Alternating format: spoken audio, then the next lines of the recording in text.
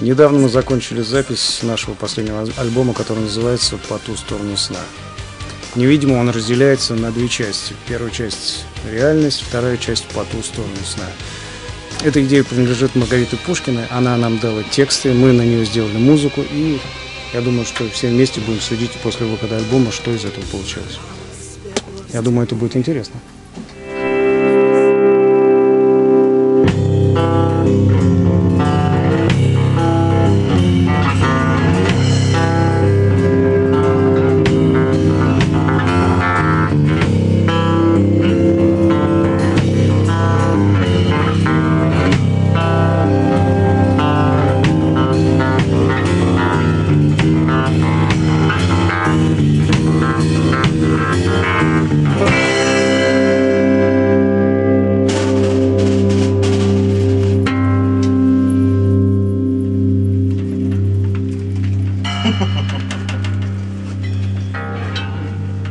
Этот альбом, а, по всей видимости, будет экспериментальный альбом для мастера. Мы играем в нескольких стилях, начиная от трэша, кончая фолком, классика и даже джаз-рок и арт-рок.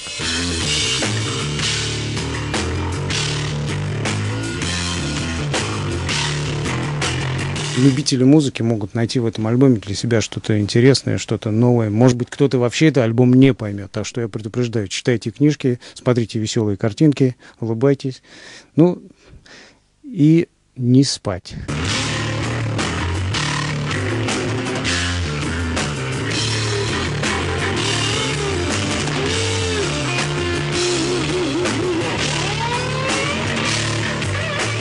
Когда мы э, уже приступили к записи инструментала, то было понятно, что альбом представляет собой а, не то, что какое-то музыкальное произведение, а для нас он становился с каждым днем, с каждой минутой, с каждой нотой каким-то а, живым организмом, такой отдельной субстанцией, которая существовала вот в студии параллельно с нами. Естественно, большое значение на это влияла сама тема и, в общем-то, музыка, которая навивалась на эти стихи Риты Пушкиной. А для нас было очень интересно поработать со многими приглашенными вокалистами.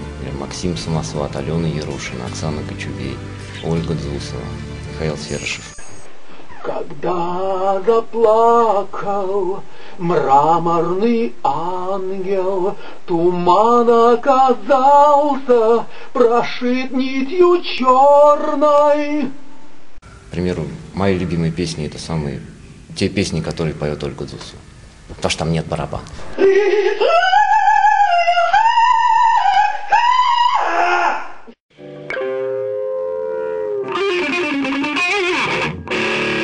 Первая композиция на альбоме называется «Танец».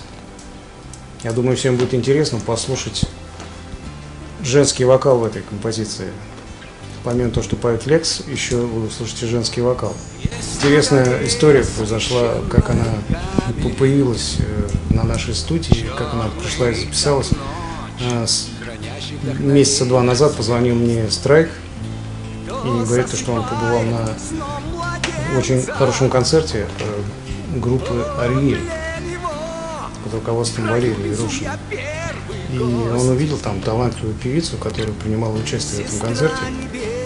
И оказалось то, что это его дочь, Алена.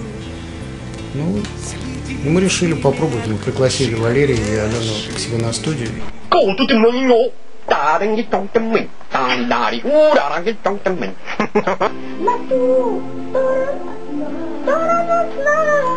Да. Ну все, мы тебя оставляем. Давай, мальчик, короче, закроем дверь. Поняла, ага. Да, вот эти две фразы, давай. Угу.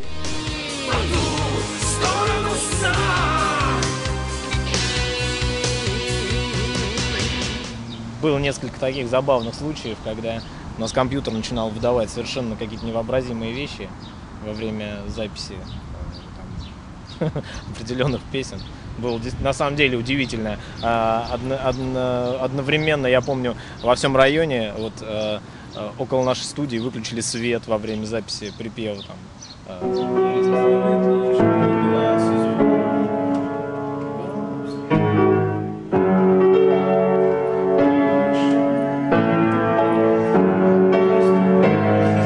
время записи соло тоже был забавный случай. Мы писали соло, и у меня одновременно лопнули две струны. Кстати, этот момент а, так и вошел в запись, остался.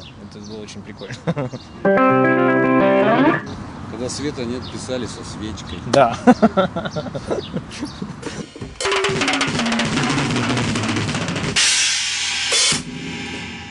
Также хочу рассказать про композицию, которая называется «Мраморный ангел». Эту композицию написал для нашего альбома Сергей Скрипников. А, компози... Композиция имеет явно готический характер по, по музыке и по тексту. Ее исполняет Михаил Сершев, экс-вокалист мастера. Шрамы оставив, смерть спрыгнула с плеч. Так пошутила судьба. Варвар сам в сердце вонзил свой же меч и обессмертил себя. Они очень органично влились в наш коллектив и в сам процесс записи. Главное, что понравилась им идея, и они э, с удовольствием откликнулись. Э, то есть э, Алена Ярушина, там, Оксана Кочубей. Алена Ярушина вообще, в принципе, не работала в этом музыкальном стиле, для нее был такой своеобразный эксперимент. И сейчас я знаю, что она под таким впечатлением, то есть... А Оксана Кочубей вообще, она даже Сама говорила, я бы такую музыку играла, я бы только такое и пела. Я сама не верю, мне, честно говоря, очень нравится, очень нравится. И дубль давай споем. Хорошо, обязательно споем дубль. Я в шоке. Я очень рад, что закончилась эта долгая работа. И надеюсь, что наши труды были не напрасны, э, потому что работа заняла в общей сложности почти тысячу часов на запись, на сведение. И спасибо всем ребятам, которые участвовали в этом проекте и музыкантам, артистам, всем людям, которые помогали писать этот альбом. Также до этого альбома было очень много записано всякой перкуссии, барабанов, много. Приходилось играть на самых невообразимых предметов, которые были в студии, и не только. Вторая часть э, альбома, которая называется «По ту сторону сна», открывает композиция, называется «Лес Прокелон». А лес, который мы вождет крысы. Это интересная психоделическая композиция, а клавиш вместе с бас-гитарой. Двенадцатая композиция называется «Крыса», ее исполняет э, альтернативная певица Оксана Кчуди. На мой взгляд, она достаточно неплохо исполнила эту песню. Бархат, шок, серебро,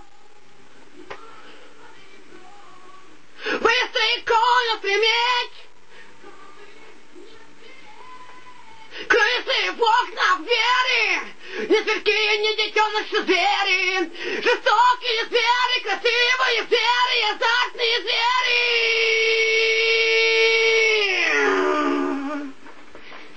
Работа была еще интересна тем, что были разноплавные песни, то есть разные стили. Не, не совсем был мастер, это была очень разная музыка. Было очень интересно ее записывать и потом сводить. Очень сложная работа. Так что надеюсь, что нам все удалось.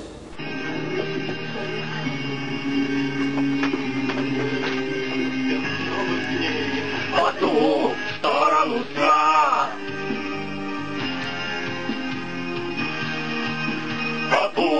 сторону сна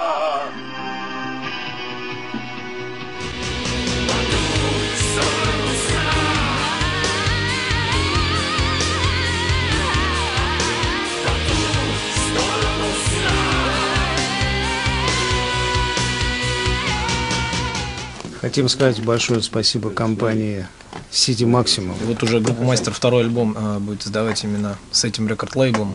Нам очень приятно. Хотим поблагодарить Юрия Богданова и э, весь персонал этой замечательной компании.